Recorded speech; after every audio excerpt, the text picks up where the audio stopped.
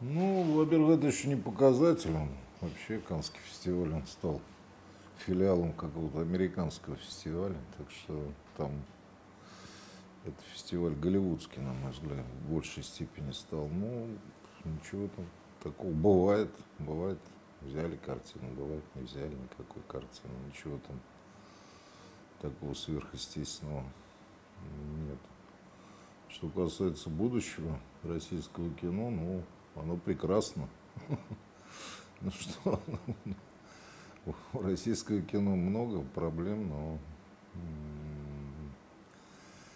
об этом так много говорится. Организации вообще кинематограф, самого процесса у нас. Но я, я рассчитываю, что оно будет вполне. Оно будет будущее.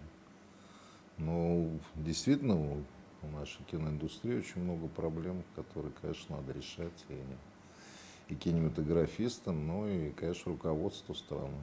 Тут тоже есть какие-то ряд проблем, которые не решишь. Только,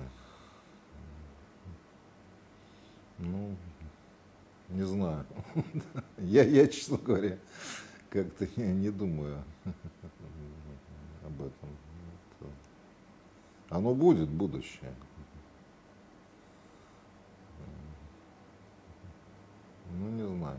Не, не, не, не. Что, что сказать вам? Конкретизируйте как-то.